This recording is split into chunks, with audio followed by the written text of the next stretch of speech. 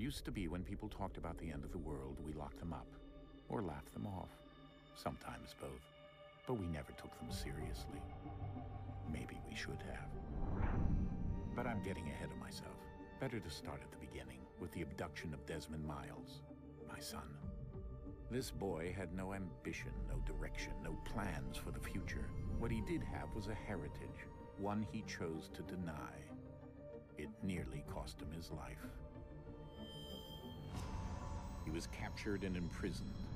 Those who took him believed he could help them find something. The apple. One of several artifacts we call Pieces of Eden. Bits of ancient technology scattered across the globe. Some hidden, some found, all of them dangerous. Most are held by a single group, the same group that now had Desmond. You know them as Abstergo Industries.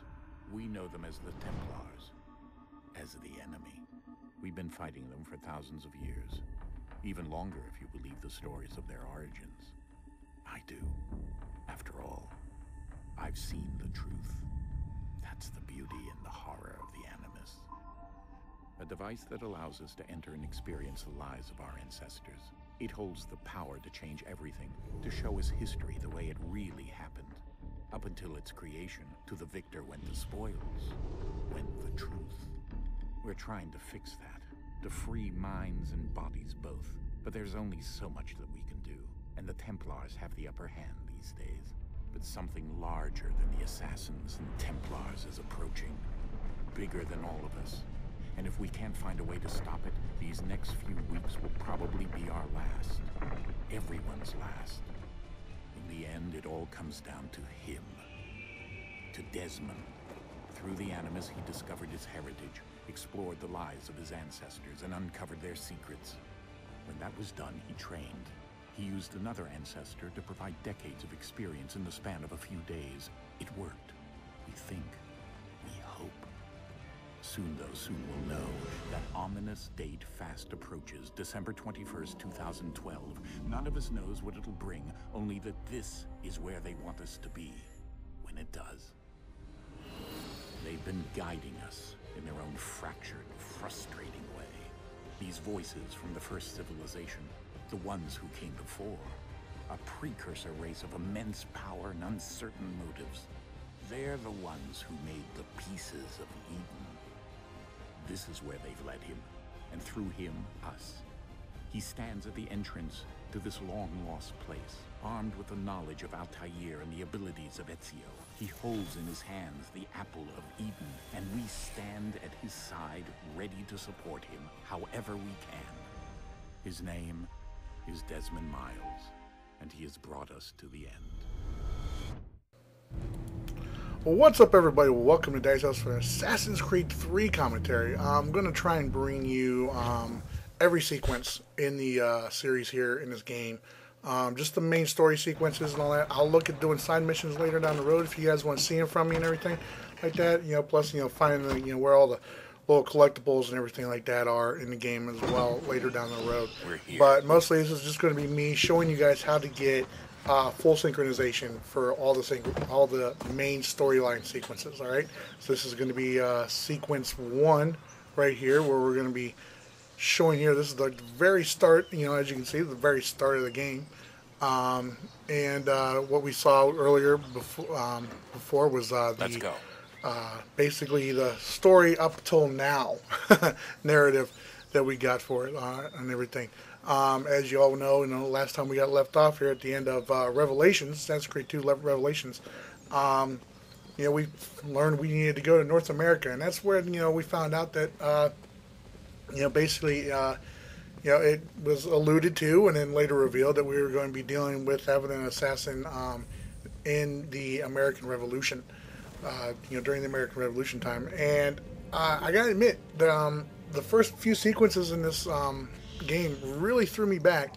Uh, uh, took uh, taken by surprise by a lot of different things in here. I'm not going to reveal nothing to you guys if you haven't played the game yet. Um, some twists and turns and all that. Huge, mega, mind blowing uh, twist um, later on here in a, in a video to come and all that. But I'm not going to spoil it and all that. I'm just going to sit back here and mainly let you guys watch and all that. Maybe talk a little bit, add in, you know, any commentary about what you need to do for certain sequences and everything to get your full synchronization um, achievement or trophy with this game.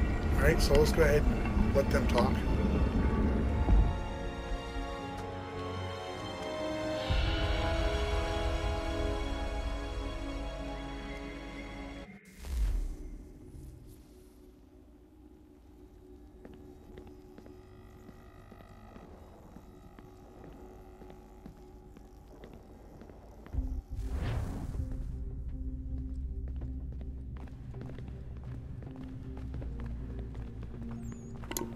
I like how Desmond is carrying nothing in this.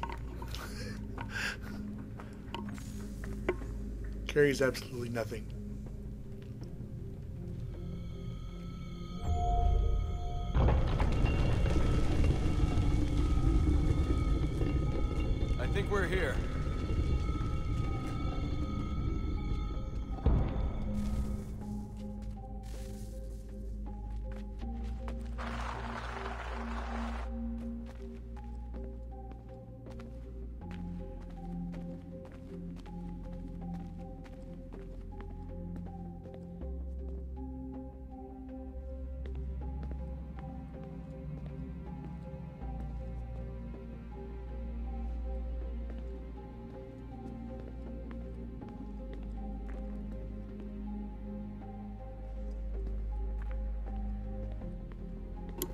Trying to figure out how to get my glow stick back because I didn't want to miss out on the rave.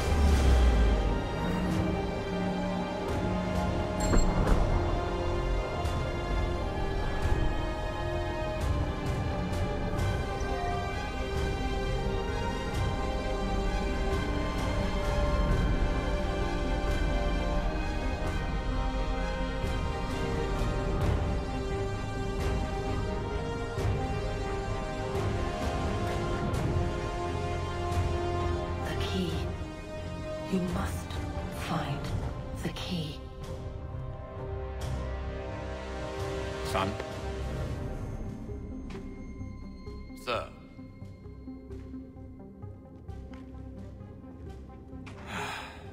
Here we go again.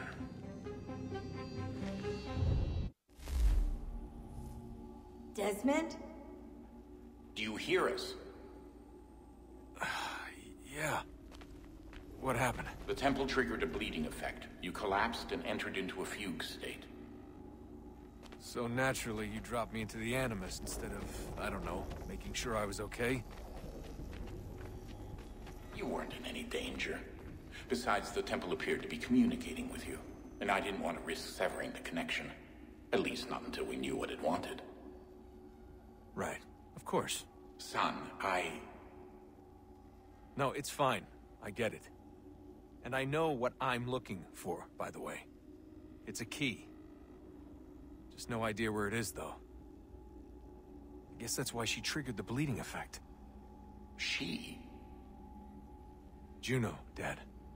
She's talking to me. Okay, Desmond. While you were, uh, visiting Constantinople, we picked up a software update for the Animus. I'd like to run a couple of quick tests, make sure there aren't any major issues. All right. What do you need me to do? We'll start simple. Walk to the marker over there.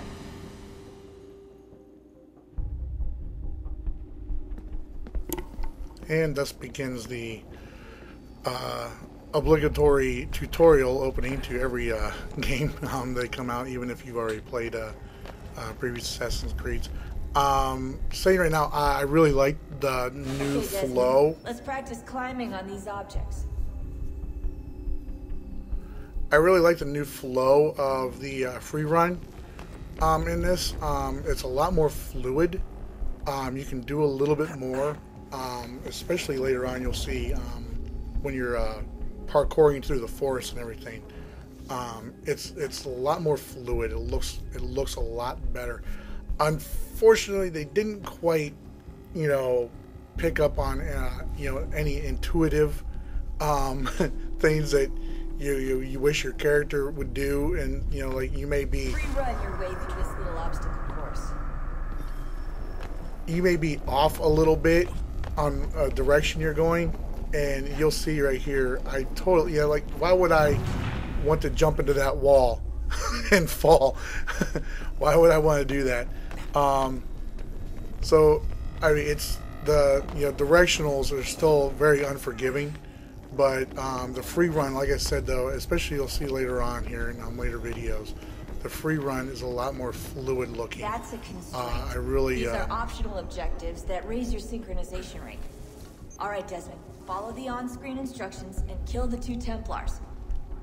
Yeah, first uh, the um, sequence uh, full synchronization thing right here is you have doing air assassination, which is this is a very easy um, optional objective to accomplish right here.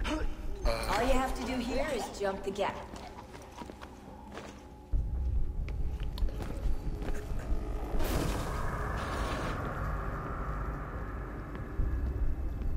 But again, right here, I mean, it's like it's very you know tricky and unforgiving because they've got a new hurdle uh, aspect to it. If you're holding down the X button right there, was what I did.